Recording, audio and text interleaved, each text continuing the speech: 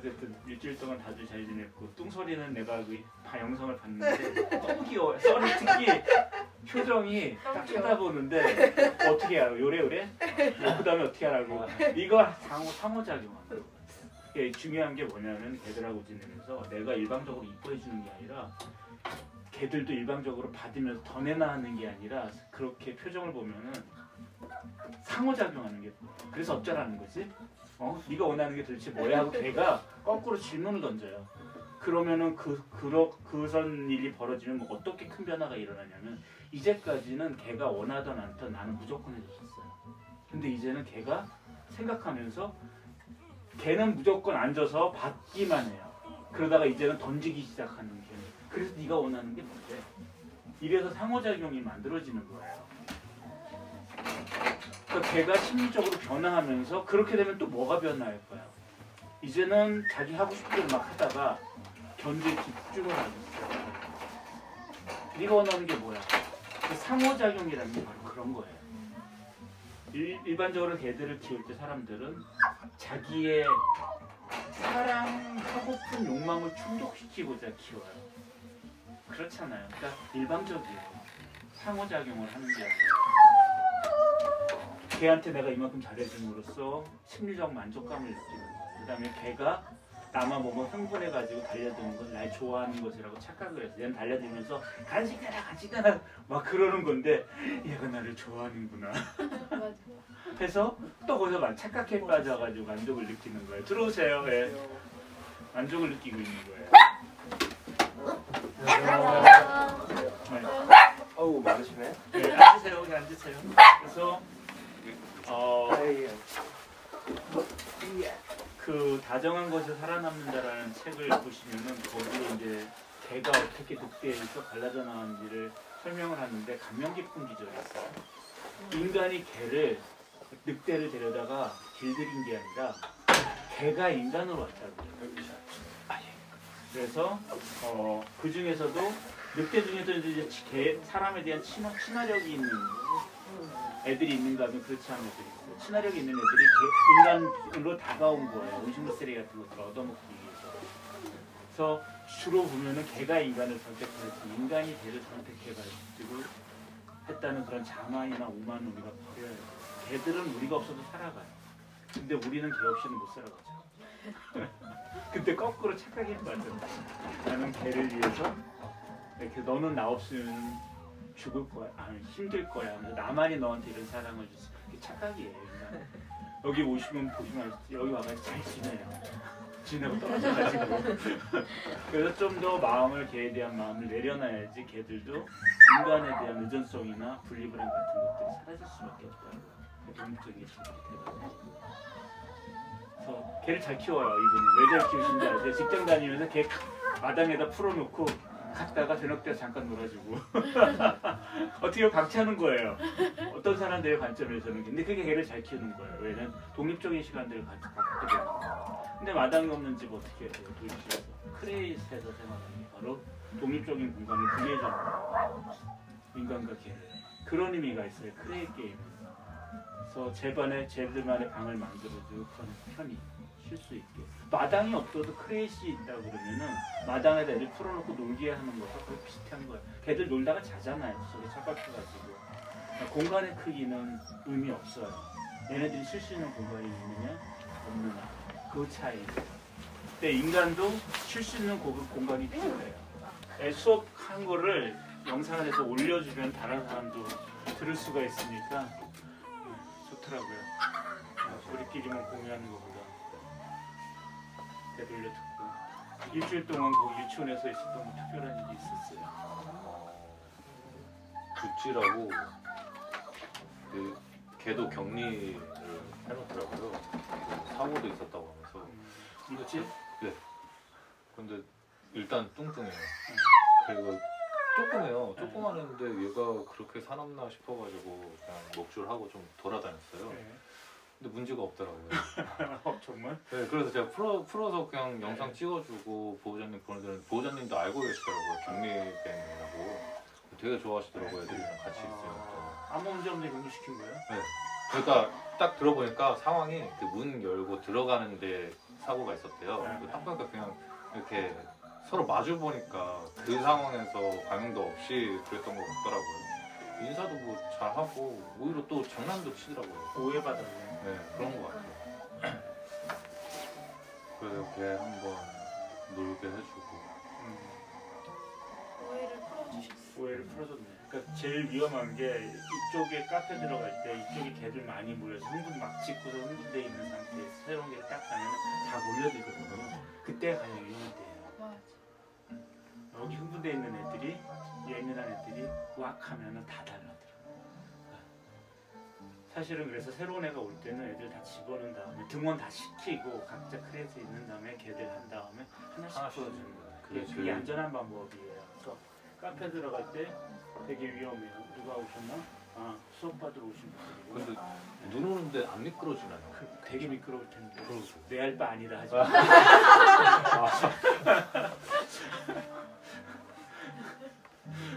우리 개들 아니야. 내가 안 하면 돼. 어, 넘어지면 크게 다칠 텐데 위험할 텐데 어쨌든 내할바 아니다. 음, 그다음에 뭐 행동 쪽에는 뭐 궁금한 거 이런 거 없고요. 생각했던 것들이 그 호텔장에 들어가 있는데 얘가 거기에 대한 가치는 없어요. 근데 계속 이제 넘어오려고 하고 네. 그러다가 포기하면 한 번씩 제가 그냥 햄 던져주니까 조금 괜찮아졌거든요. 근데 그거는 임시 방편인 거죠. 예, 그렇죠. 저 같은 경우 이런 방법을 쓰겠어요. 그 호텔장 안에 들어가서 같이 트릿 아, 아, 조금 가치를 커피. 트레이닝을 하겠어요. 그래서 그 안을 좋은 점, 얘가 왜 나오려고 그럴까요? 밖으로. 밖에 더 크니까. 밖, 항상 밖에서 놀고 간식 주고 했다면, 그러니까 바깥쪽의 가치가 얘한테는 더 높아진 거예요. 그럼 그 거꾸로 역전시키면 돼. 내가 그 크레 나- 그쪽 안에 들어, 그 공간 안에 들어가서 얘랑 놀아주는 거야. 몇 번. 그러면 얘는 그 안에 가치가 더 높아지는 거예요. 밖에보다. 그러니까 인간들이 거기서 이제 착각을 해요. 인간들은 좁아서 싫을 것이라는 감정적인 판단을 내리게 되는 거예요. 사실은 그게 아니에요. 어디서 놀아줬냐, 어디서 밥을 먹고, 어디서 쉬느냐가 더 중요한 거. 그게 그 장소에 대한 형성하게 되는데. 그랬던 것 같아요. 다른 한마디는 제가 안에서 좀 놀아줬거든요. 네. 셀프 컨트롤도 해주고 그랬더니 그냥 지가 알아서 들어가 들어가죠. 문 열어주면 네. 우리 운동장을 열어주면 애들이 운동장을 뛰어 들어가는 이유가 있어요. 왜 들어갈까요? 이게 거기 들어가면은 흥분이 돼요. 신난 게 아니에요. 흥분하면서 얘들의 본능, 사냥감 쪽 이놀이 달리기를 할 수가 있어요. 그거는 개들의 욕망을 출력시켜주는 본능의 욕망을 출력시키는 행위가 달리기는 그거를 할 수가 있으니까 그쪽에 가치가 거예요. 넓고 놀아서 좋은 게 아니에요. 네. 또 마당에서 내가 얘들이 이제 마당에서 나오게 할 때는 어떤 방법을 쓰냐면은 처음 온 애들은 지금은 이제 얘네들이 다른 개들이 뛰어나오는 게 자기도 모르게 쫓아서 나오는 것 뿐이거든요. 그게 이제 나중에 행동 습관이 되어버리고 근데 안 되는 애들이 있어요. 수- 수기처럼. 그때는 어떻게 하냐? 첫 번째로 내 가치를 높여줬어요. 리콜을 이용하면서 리콜 교육하면서 그렇죠? 그 영상 보셨기 전에 나만 이제 졸졸 쫓아다녀요. 대면 대면 했대 내가. 야, 그 사람 테스트를 해봐요. 야, 운동장에 안 나오는 애들이었죠. 안 나오는 애였잖아요. 내가 나가자 애들 다 내- 나오는데 이번 오늘 나왔죠. 왜 그런 현상이? 리콜 교육을 시키면서 부수적으로 나에 대한 가치가 높아지는 거예요.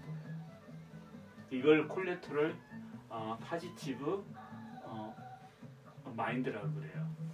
내게 내가 collateral negative mind라고 하는 일반 훈련들이 그 행동을 만들 수는 있지만 부수적인 나쁜 심리를 또 형성할 수가 있어요. 예를 들면 앉아를 무조건 가리켰어요. 간식으로 luring으로. 그러면은 나- 아, puppy training 할 때 얘가 뭔가 나한테 어떤 행동을 해서 오퍼를 던져야 되는데 오퍼를 던지지 않고 얘는 무조건 와서 앉아요. 다른 행동을 전혀 안 해요. 그걸 collateral 네거티브 마인드라고 내가 이름을 붙인 거예요. 어떤 교육을 시키게 되면은 그 교육을 시키면서 얘가 생각하지 않게 되면은 부수적인 나쁜 행동 심리가 형성이 돼요. 그- 즉 무조건 안전을 시켰던 애는 다른 행동을 하지 않는 수동적인 대로 그냥 변해버린 거예요. 그게 아까 지금 그, 그 거기 호텔 장 안에다가 던져준다고 그랬는데 그것도 마찬가지로 그렇게 했을 경우에는 수동적인 개를 던질 수가 있어요. 던져줘, 던져줘. 그것만 기다리면. 들어가서 노는 거는 근데 달라요. 놀면서 다른 긍정적인 효과가 나요. 이 사람에 대한 가치가 높아져요. 이 사람이 자판기처럼 먹을 거 던져주는 자판기일 뿐이에요. 근데 같이 놀면서 생각하게 하는 교육을 만약에 한다 그러면 이 사람에 대한 리더십 이사이 생기고 팔로우십이 생기고 걔는 그리고 동시에 그 호텔장 안에 공간 가치가 지금 향상되게 되는 거예요. 그래서 들어가서 놀아주는 게 훨씬 더 좋은 많은 연쇄 효과들이 일으켜요. 근데 단단 단지 던져주는 거는 아무 의미가 없어요. 자판기에서 그냥 돈을 넣어가지고 버튼 눌렀더니 틱 튀어 나오는 거예요. 만약에 던져주다가 안 던져주면 이게 이 개는 기다리는 게 아니에요. 눌러요 버튼을 계속. 자기가 콜한다고. 던져봐 던져봐 던져 왜 안 던지는 거야 하면서 그런 현상이 또 나타날 수가 있어요. 그게 이제 부수적인 예, 나쁜 심리 현상이에요. 그런 교육 방식들이. 그래서 항상 어떤 방법을 쓸 때는 이러한 부수적인 어- 내가 원하는 행동만 끌어내려고 하는 게 아니라 내가 이런 교육 설계를 했을 때 그걸 통해서 나쁜 부수적인 행동 심리가 상상되지 않을까를 또 걱정을 하고 그것을 평가해 봐야 돼요. 근데 쉬운 게 아니에요. 어, 인터넷에서 이럴 때 이렇게 훈련하세요 하는 것들은 그렇게 하면 될 수도 있겠죠. 하지만 이런 부수적인 나쁜 행동 심리를 만들 수가 있어요. 그걸 생각을 해야 돼요. 근데 거기에 대해서 연구하고 예, 교육 설계를 하는 훈련사들 우리나라 또 외국도 마찬가지 한 번도 못 봤어요. 유일하게 제가 전 세계에서 유일하게 그런 쪽으로 지금 연구를 하고 예, 설계할 때 어떤 것들을 조심해야 되는지 이런 것들을 지금 하고 연구하고 있는 거예요. 그래서 어떤 행동을 하겠 시키겠다고 그 방법들을 조사하고 방법들을 배우는 거는 좋은 방법은 아닙니다. 거기에 따르는 정말 나쁜 현상들이 너무 많이 발생해요. 예를 들면 따라 훈련을 했어요. 산책 문제가 생겼다고 그래가지고 그것을 내가 잘해요 이제. 그 대신 내 얼굴 보면서 바보처럼 붙어가지고 따라가요 길에서. 그게 산책일까요? 그냥 훈련의 연장일 뿐이에요. 그거는 따라 훈련의 연장일 뿐이에요. 산책 자, 견주는 자기는 산책한다고 생각하겠죠. 개 입장에서 이게 산책일까요? 아니에요. 이거는 따라 훈련하는 거예요. 바보처럼. 그게 무슨 산책이에요? 근데 그거 한다고 우리에게 말 잘 듣는다고. 네, 바보 같은 행동. 자 인간이 바보, 현주가 바보가 된 거예요. 어제 그 그분이 계셨어요. 어제 그 하루 종일 어 그냥 얘기를 하다가 밥 먹는 얘기를 하다가 산책할 때 떴는데요. 그래서 훈련하려고 주는 거냐고 그랬더니 그렇게 하는 거예요. 아 그렇게 하지 말라고. 산책하는데 풍경도 보고 자극을 좀 느껴야지 왜 버스를 하냐. 그래서 한번 나가보죠. 엄청 당긴다는 거. 저는 처음 보는 애였습니다. 완전 관계성도. 그 갔는데 저거는 문제가 없어요. 왜냐면 얘가 땡길 줄 알고 전 미리 계속 나갔거든요. 네. 계단을 내려가면서. 나가니까 그냥 제 옆에서 잘 따라오는 거예요. 그 보조님이 놀라시더라고요. 처음 보는 사람이 그렇게 하니까. 근데 알고 보니까 그분이 밸런스 독도 오려고 했었대요. 그래서 어, 밸런스 독이 오셨으면 이렇게 가르쳐 주셨을 거다. 그래서 어제 채시를 하셨는데 어제 한 바퀴 돌았어요. 그래서 제가 한번 계속 막으면서 걸어보라고 했더니 잘 따르더라고요. 바로 습관 습관이 계속 있긴 한데 제가 그래서 그냥 뒤로 가서 뒤로 계속 밀어서 체중을 뒤로 가게끔 해주라고 지금 계속 앞으로 튀어나가려고 하니까 그 몇 번만 해주면 괜찮을 거다. 간식 쓰지 말라고. 뭐 그랬더니 되게 신기하고 감사하시더라고요. 산책이 진짜 간식 것 쓰는 그 산책 훈련을 간식으로 하는 방법의 문제점인 거예요. 그러니까 이게 negative, collateral, 내가 negative mind가 걔한테 형성된 거예요. 걔는 간식을 주면서 내한테 focusing을 했잖아요. 근데 치, 이거 치고 나가는 것과 치고 나갈 땐 치고 나가는 거 그땐 그때고 이 간식 얻어먹을 때는 간식 얻어먹을 때인 거예요. 이 연관을 못 시키는 거예요. 걔 입장에서는. 우리는 논리적으로 사고를 하는데 안 튕겨 나가면 주는구나 그래서 앞뒤의 인과관계를 인간들은 논리적으로 추론하는데 걔들은 그게 없어요. 그땐 그때고 이때 이때예요. 이건 두 개가 전혀 다른 행동이에요. 근데 멍청하게 인간들은 간식으로 줄을 안 땡기게 하는 훈련들을 하죠. 대부분 실패해요. 그렇게 해서 되면은 다 성공했어. 이미 다 성공했어. 산책 문제가 없어져야 돼요. 왜 그런 그 이유는 안 되는 이유는 그 땡길 땐 땡길 거고 먹을 땐 먹을 때라고 걔들은 분리해 생각하는 거야. 근데 지금 이 방법은 내가 나가려고 할 때마다 어 베리어가 생겨요. 나가려고 하면 베리어가 생겨요. 그러면은 예, 아 하다가 아 하려고 하다가 아 하면서 나중에는 이렇게 되는 거예요. 목줄 채는 것도 마찬가지예요. 목줄을 왜 채죠? 산책할 때 달려나가는 애한테 뭐 부정 강화라고 그래가지고 고- 나갔을 때 고통을 주려고 한다는 거예요. 네. 그런데 이 애는 심리가 너무 흥분돼가지고 그따위 고통 따위 남 견뎌낼 수 있어 하는 애들은 계속 치고 나가는 거예요. 의미가 없는 거예요. 부정 강화인데 부정이 얘의 행- 흥분을 어, 눌러 억압하지 않을 정도로 큰 자극이 아니고서는 진짜 큰 고통을 주지 않고서는 얘는 계속 나가려고 할 거라고. 이게 싸움이에요. 두 개의 어느 게 더 크냐에. 그 그런 방법도 되게 나쁜 방법이에요. 얘 흥분만큼 더 큰 아픔을 줘서 이것을 누르겠다라고 하는 그런 목줄체 훈련 방법. 초크체인이나 예, 핀치콜라스 그러한 것들이 바로 그러한 훈련 방식들이거든요. 걔를 완전히 기계로 보고 예, 고통을 줘서 뭐 나쁜 행동을 하지 말고 걔를 때려서 뭉둥이가 때리지 않는 것 뿐이에요. 근데 뭉둥이를 때리면 얘가 안 튀어나갈까요? 아니에요. 움츠러드는 거예요. 산책하면서 이 산책을 뛰어나갈 안 뛰어나가려고 자기가 스스로 생각하는 게 아니라 위축이 돼가지고 이렇게 걷는 거예요. 뭉둥이를 두드려 맞을까 봐. 예사 뭉둥이 들고 있으니까 언제 날라올지 모르잖아요. 그게 산책 훈련이 된 건가요? 아니라는 거죠. 근데 그런 방식들을 지금 쓰고 있어. 뭉둥이 대신 초코체인 몸을 칵칵하게 만들어버리는 거예요. 그런다고 교정 안 돼요. 왜 우리는 행동심리적으로 접근하잖아요. 앞에 치고 나갈 때 어떻게 하라고 그랬죠? 등을 돌리라고 그랬어요. 걔가 뒤에 있는 것처럼. 내가 앞장 서는 거죠. 자연스럽게 환경을 만들어요. 우리 환경 조작한다고 그랬죠. 그러면 반대로 가요. 왜 꼭 산책길로 다녀야 되지? 그럴 필요 없어요. 냄새 맡고 막 달려 대부분 이제 달려나가는 이유가 냄새 맡으려고 그러면은 냄새 맡게 해주고 내가 앞으로 지나가요 여기서 불러. 이 행동을 끊어줘요. 자 그럼 어떤 현상이 발생할까요? 처음에는 얘가 주- 걔가 주도를 해가지고 견주를 끌고 냄새 맡은 진원지까지 가요. 걔가 꼭 끌고 다녀요. 다음 땅 다음 장소도 그렇게 이동하면서 얘가 쥐를 끌어요. 쥐는 뒤에서 줄줄줄 끌려가요. 근데 여기서 이제 놀이 규칙을 바꿔봅시다. 걔가 여기 냄새를 맡아요. 나는 그냥 지나가. 지나가서 불러요. 안 부르면 목줄을 살짝 당기면서 오라고 끊어줘요. 채는 건 아니에요.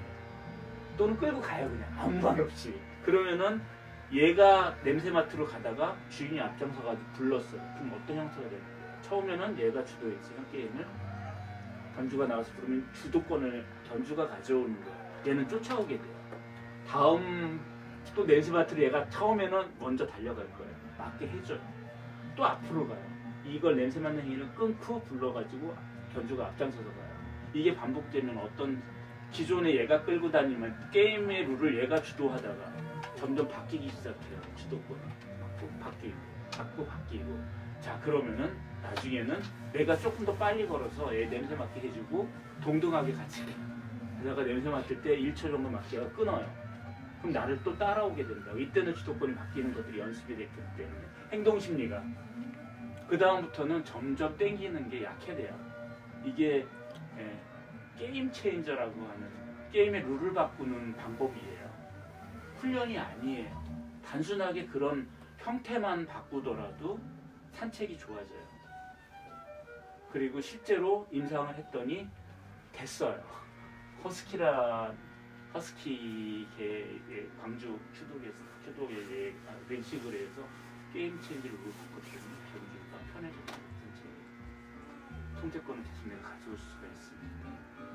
어, 걔도 충분히 자기가 냄새 맡는 호기심을 충족시켜주면서 근데 그 무한대로 놔두는 게 아니라 내가 끊어주는 거죠. 그래서 가 그만 내가 주다 다음 거 맡아.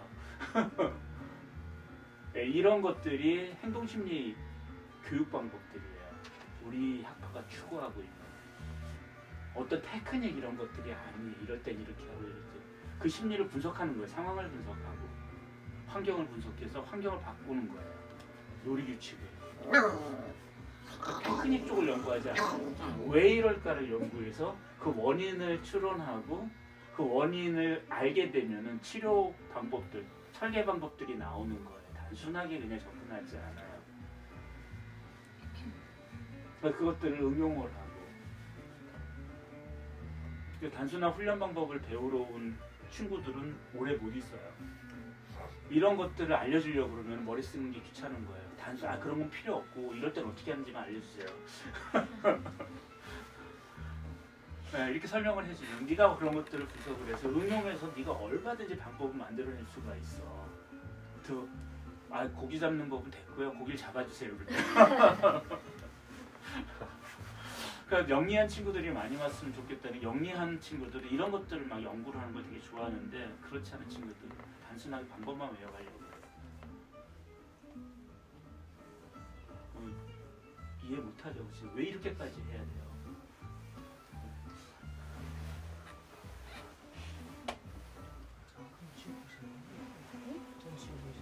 이미 밟은 다음에 저거 뿌려 이거 해봤지 않아요. 이미 다 들려 젖어가지고 얼어요 저거. 근데 저는 신경 안 쓰는 게 나는 뭐 여기 나가는 거니까. 저 위에서 내려오신 분들은 치우지 않고서는 차가 위험하니까 이게 나쁜 마인드였으면 옛날엔 치웠는데 아 그게 뭐 선배님 누구 강의하고 오시냐? 네. 그래서 아, 이제 이해할게 우리 행동 구조적 행동주의가 어떤 건지. 그래서 기, 어, 기존의 훈련 방법하고 굉장히 많이 틀리고 전 세계적으로도 이런 식으로 접근하는 행동학자나 훈련사들이 없어요. 근데 이게 진짜 장점인 게 제가 걔를 안 건들고도 바꿀 이제 수가 있어요. 걔안 건드려도 환경만 내가 이렇게 순서만 바뀌어도 바뀌어요. 예. 스키 리콜라는 애들이 말 나오 부르지도 않았는데 나오잖아요. 운동장에서요. 안 나오던 애가 내가 불러도 안 나오던 애가. 근데 안 불러도 나와요. 이걸 어떻게 설명을 해야 되죠?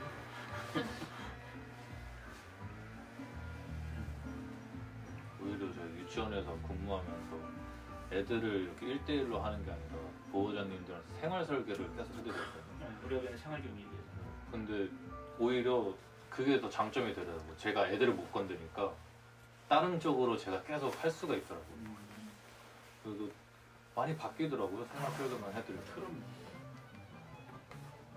생활 순서나 하루 일과 규칙 이런 것들만 바꿔도 애들은 변해요. 그 여기 와서 애들이 하는 게 바로 그거예요. 그리고 시뮬레이션.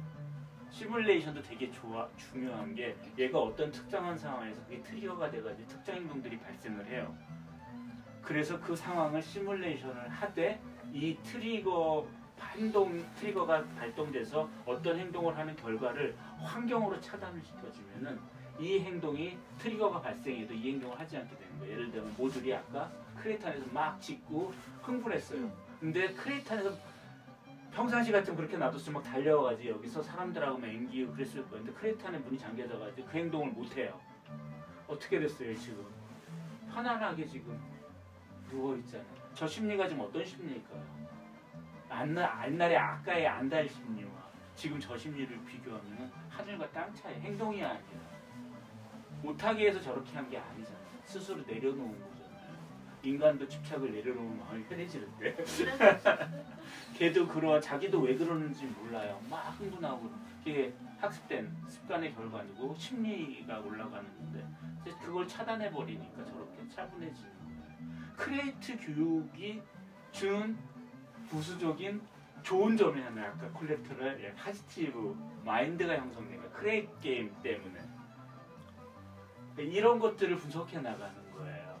그러니까 어느 행동을 하나를 하, 하게 한다, 못하게 한다 이런 차원이 아니라 원인 자체를 해서 심리를 바꾸면 행동이 바뀐다라고 내가 늘 주장하는 게 저런 것들이에요. 저걸 이렇게 시뮬레이션 하는 거. 앞으로 집에 손님들 왔어요. 막 여기서 솔직히 말해서 춤추다고 칩시다. 예, 춤추는 모임이야. 거기서도 크레이트에만 넣으면 쟤는 저 심리가 다시 성성이 돼요. 얼마나 좋아요. 안대를 어떻게 저그 안대를 가리키는 게 아니에요. 여러분들 지금 나한테 교육받고 집착을 내려놓는 개에 대한 집착을 내려놓는 뭐, 요 방이라고 하는 크레이트에서 우리가 잘하고 있나 잘이고 있나 아 노심초사 하는 게 아니에요. 잠깐 잊어 잊어버리잖아요. 그럼 쟤도 그 행동을 보고 상호작용. 관심을 안 가지니까 옛날에는 계속 관심, 어 뭐가 불편하니 뭐 먹고 싶냐 하면서 계속 관심을 가져주니까 이런 관심쟁이가 관심쟁이가 관심을 먹고 사는 개가 됐다가 관심이 이제 끊겨지고 자기도 마음이 편해지고 분리불안도 자연적으로 사라지게 됩니다. 이 모든 행동은 이런 심리와 연관되어 있어요. 그래서 전번에 이 훈련 따로 12가지가 나한테 보내줬죠. 맞아요. 지금 몇 가지 교정된 것 같아요. 좋아진 것 같아요. 전 거의 다 지금 좋아졌어요. 나가 테스트만 해보면 돼. 스타필드 가가지고 다른 개들의 반응만 나또 두시기 하듯이 체크해보면 거기서 네, 교정, 완전 안심시켜주고 괜찮아 괜찮아. 어. 그럼 12가지 아무, 따로따로 12가지 훈련 안 했는데도 다 해결되는 거예요. 근데- 12가지나 있었어요. 네, 12가지 리스트를 쭉 보내줬어요. 뭘 하든 행동 교정했으면 좋겠을 게 12가지로 그래. 이럴 때 이러고 이럴 때 이러고 해서 사실은 이게 한번 쭉 읽어보고 아 그렇구나 하고 그냥 다 잊어버렸어요. 뭔지도 몰라요. 나 지금. 근데 저도 점점 그렇게 되는 예. 거예요. 예. 그래서 어, 문제들이 없어지면 된 거지 뭐. 예. 근데 모듈이는 2층에 있잖아요 지금. 그래서 알아서 올리는데 집에서도 지가 스스로 들어갈까요? 고미를 1층 쓰고 모듈을 2층 쓰기 2단으로 크레스를 쌓으면 되잖아요. 고미는 1층으로 잘 들어가잖아요. 한번 해봐. 예. 그 도끼 쪽에 해가지고 예. 이쪽으로 하면 그리고 음, 지금 내가 고미한테 쓰는 방법이 보물찾기 게임이잖아. 얘가 자꾸 생각해 안에 있을까 없을까를 밖에서 망설이는 경우도 되게 많아요. 음. 이- 어쩔 때는 노즈워킹을 그 노즈워킹이라고 해서 여러분들 nose working을 알고 있으니까 안에다가 안 보이는 데다가 이래서 매트를 깔아놓은 이유가 안 보이는 데다가 간식을 숨겨놓으려고 매트를 깔아놓은 거예요. 안 깔아놔도 들어가요. 네, 근데 고, 이제 모듈이나 안에 들어가는 것에 대한 거부감이 없어요. 근데 거기서 보물 찾기, 찾기 게임 몇 번 하면 어떻게 될까요? 무조건 들어 찾으려고 그래. 보물이 있나 없나. 혼자 생각하는 거죠. 던져주는 것과의 차이가 그거예요. 자기가 스스로 생각해서 보물이 있을까 없을까 하면서 자기의 행동 습관 무조건 들어가는 걸로 형성이 돼요. 루- 쉽기처럼. 그 다음에는 룰을 바꾸는 거예요. 게임 체인지를.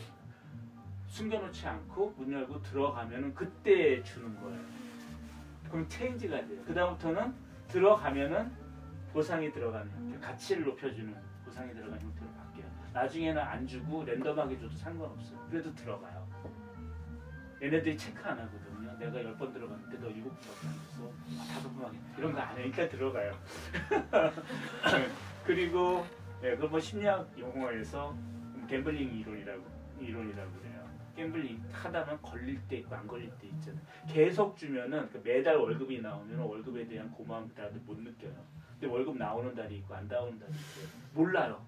월급 받는 사람이. 그때 나왔을 때 환장하게 된다는 심리가 더 기뻐진다는 거. 예외적으로 뭔가 상황이 발생하게 돼. 이게 갬블링 테오리예요. 심리학에서 얘기하는. 그것을 어, 가치 형성에서도 그 이론을 적용을 해요. 저희는 랜덤하게 주는 거예요. 할 때마다 주는 게 아니에요. 그러면은 줬을 때의 기쁨이 배가 돼요. 로또 받았을 때의 기쁨. 그러면서 로또는 계속 사요. 당첨이 안돼 있어도. 그거예요. 사람도 마찬가지예요. 그래서 쟤는 지금 모듈이는 내가 안 와서 넣는 일- 일부러 했어요. 왜냐면 너무 소심하고 겁이 많았기 때문에 처음부터 프레스 게임을 하면 저런 애들은 시간이 엄청 많이 걸려요. 어. puppy training부터 들어가야 돼요. 트레이너로 온 애가 아니라 가장 급한 미용 하고 사람이 손 닿는 것에 깜짝깜짝 놀래고 무는 두려움을 가지. 그거부터 이제 그게 킹핀이니까 그거부터 지금 하려고 해서 처음엔 들으려고 안서 손 집어넣잖아요. 으르렁대고 물었어요. 으르렁대고 물어요 손을. 지금은 애들 나가는 거 보면 지가 일어나가 나올 준비를 해요. 손딱 집어넣으면 편하게 몸을 맡겨요. 그거 자체도 사람 손을 두려워하지 않는 심리가 됐기 때문에 미용이 성공할 수 있었던 거예요. 아, 따로따로 존재하는 게 아니에요, 훈련이. 다 이렇게 심리적인 것들이 연관돼 있어요. 미용도 사람 손이 가는 거예요. 똑같아요, 얘 입장에서는. 이게 미용인지, crate 안에서 손 넣어가지고 내 끊으려고 하는 거. 얘한테는 똑같이 저- 생각을 해요. 그 상황 자체를. 그러면서 움츠러들고 방어적 공격을 하고. 내 손을 넣어가지고 밖에 편하게 나가고 편하게 들어 또 올려서 돌려주고 들어가고 싶어해서 막 아까 1층에서도 막 crate 냄새 맡고 왔다 갔다 하고 들어. 문 열렸으면 들어갔을 가능성이 되는 거야 들어가자마자 그 가치를 높여주고. 내가 먼저 던져주는 게 아니에요. 호텔장 안으로 내가 먼저 던져주는 게 아니에요. 얘가 들어간 다음에 거기에 드세요 하고 놓고 닫은 거예요. 그 두 개는 엄청난 차이예요. 얘는 기다리다는 던져서 들어와요. 뭔가가. 이유를 몰라요 내가 여기 있었으니까 던져주겠다고 원인과 결과를 논리적으로 생각할까요? 제가 그런 능력이 인간의 목에다가 줄 채우고 다녀요. 애들이 그 관계를 영감은 이해 못해요. 인간은 그렇게 생각하는데 나는 딴 생각하는 거예요 근데 얘가 그 호텔장 안으로 뛰어 들어간 다음에 내가 했으면은 얘는 뭔지는 모르지만 뛰어가는 행위가 좋은 감정이 생겨요. 걔들은 논리적으로 생각하는 게 아니라 어떤 것을 했을 때 좋은 감정이 그 행위의 결과로서 입혀졌느냐 안 입혀졌느냐가 중요해요. 그 어느 어느 쪽에서는 편도체에서 그 역할을 담당한다고 생각해요.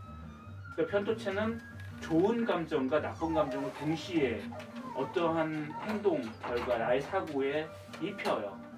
그래서 장기 기억 속으로 저장을 시킨다고. 그래서 어, 요즘 뇌과학책들 보면은 고통과 행복은 뇌의 같은 부분에서 담당한다고 나와요. 그리고 예, 이것들을 이것들을 고통이 높아지면은 그 같은 곳에서 반대작용으로 행복감을 높이려고 하고 행복감이 높아지면은 또 반대로 고통을 높이려고 해서 평형을 이루게 만들려고 해요. 뇌가 같은 곳에서 작용을 하기 때문에 서로 상호작용을 그래서 마약에서 기쁨이 확 커진 기쁨이 커지면 고통이 그만큼 깊어, 깊어지는 거고 또 마약을 취해야 하는 거예요. 이걸 올리려고 가장 좋은 거는 평범한 상태를 유지해야 돼요. 도파민을 살짝만 높여가지고 하루 종일 그게 이제 예, 후보 후보원 박사의 데, 데이비튼이고 내가 여러분들 그, 여러분들 어쨌든 기분이 살짝 좋은 상태에서 활력 있게 할수 있는. 걔도 마찬가지예요. 그걸 내가 들어갔기 때문에 줬다라고 생각하지. 그 인간의 생각이에요. 그래서 들어가려고 한다. 그것을 얻어먹으려고 하는 게 기존의 훈련 행동하기의 개념이었어요. 보상 개념이었고. 근데 저는 그것을 보상 개념을 안 쓰잖아요. 가치라는 가치는 어디에서 부여하느냐? 뇌에서 어떤 행동에 대한 값을 평가하게 돼 있어요. 생물은 자기가 살아가기 유리한 행동을 선택하게 돼 있다고요. 그걸 그거는 논리적으로 되는 인간은 논리적으로 하지만 동물들은 본능적으로 그것들을 해요. 나의 생존에 뭐가 유리한지 그것에서 나의 생존에 유리한 행동을 했을 때는 뇌에서 보상 작용이 일어나요. 그게 도파민 분비예요. 걔들이 이 그- 호텔장 안으로 공간 안으로 들어갔더니 내가 간식을 줘서 생존에 유리한 환경이 됐어요. 그러면 이 영- 인과관계를 내가 머릿속에서 로직을 생각하는 게 아니라 편도체에서 이 행동에 대한 가치, 보상회로가 작- 작동하는 거예요. 그래서 좋은 기억에 더 씌워져요. 그 행동에 대한 좋은 느낌, 좋은 느낌, 느낌, 느낌. 걔들은 그게 반복이 되면서 이 행동을 하려고 하는 일종의 강박 같은 게 생겨요. 일종의 강박이에요. 심리적 관점에서. 그래서 들어가려고 그래요. 무조건. 슈키는 크레 들어오자마자 안 들어가려고 반항했던 애가 영- 옛날 영상 보시면은 반항했던 애예요. 이제는 강박적으로 들어가려고 그래요.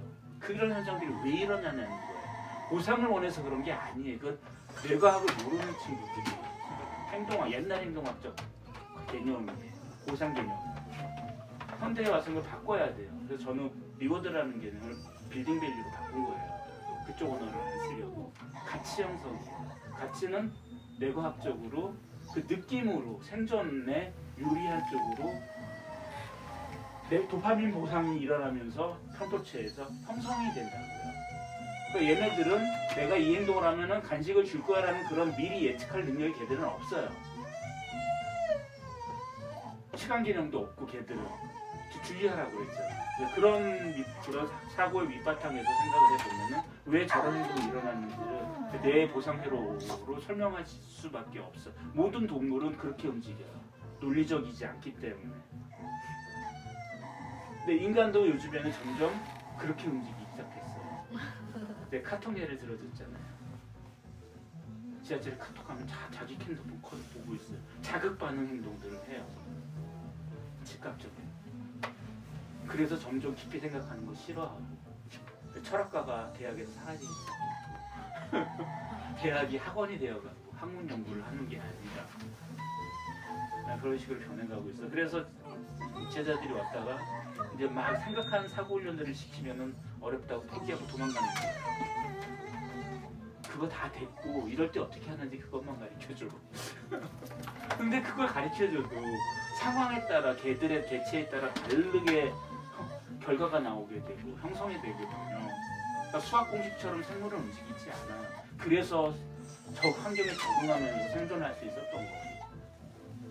멸종했을 거예요. 공식대로 행동한다면 이럴 땐 이렇게 행동하는 게그 유전자에 박혀져 있으니 그 멸종이에요. 환경 개라는 동물은 멸종했어요. 그렇지 않거든요. 자극에 대해서 각자 다른 반응을 보여요. 거기서 다른 반응을 보이는 애들만 살아남아. 우리가 소위 말하는 적자 생존이라는 거예요. 하지만 뇌구조는 같아요. 작용도 같고. 다만 이제 생리적인 호르몬 분비나 이런 것들에 의해서 행동은 자- 행동은 달라집니다. 그건 유전적으로 결정되는 거고 후천적으로 교육을 통해서 조절할 수가 있고 교육을 많이 받고 자기의 생각에 대해서 심리에 대해서 많이 생각했던 사람들은 어, 분노 조절 장애에 안 빠져요. 네, 그게 후천적 교육의 힘이에요. 부처님처럼 해탈할 수가 있어요. 해탈 유전자가 있는 게 아니에요.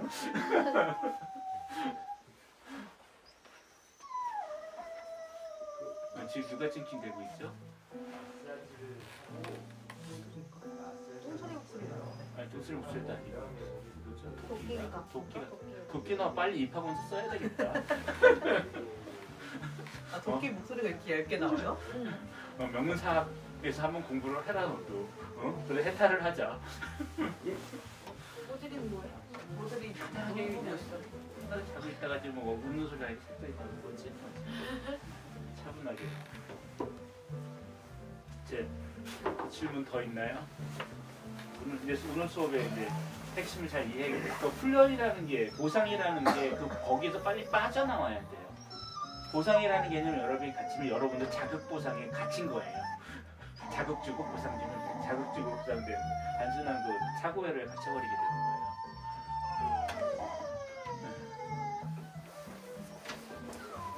자, 지금 찡찡대는 애들은 빨리 입학원서 쓰셔야 됩니다. 네. 도끼네. 아, 입학 설명회예요 오늘이?